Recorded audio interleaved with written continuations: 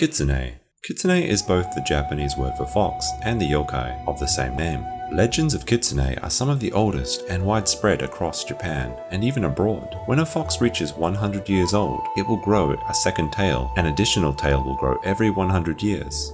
With each tail, the kitsune will grow wiser and more powerful, gaining supernatural powers to shapeshift or possess humans. They will continue to grow more powerful until they gain their final ninth tail at 1000 years old, referred to as a Kyubi no kitsune, nine-tailed fox, or also a tenko, celestial fox. At this stage, they are so powerful, they gain the ability to see and hear everything in the world, and will ascend to the heavens. This form is the most well known outside of Japan, and the inspiration for the Pokemon Ninetales and the Kyubi seen in Naruto. But there are many more varieties.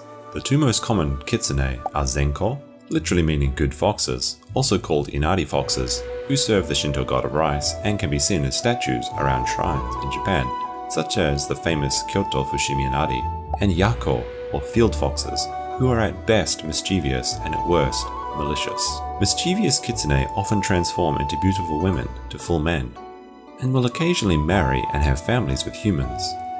The term kitsune gao, or fox-faced in Japanese refers to women with narrow faces, close-set eyes, thin eyebrows and high cheekbones, traditionally considered attractive and fox-like.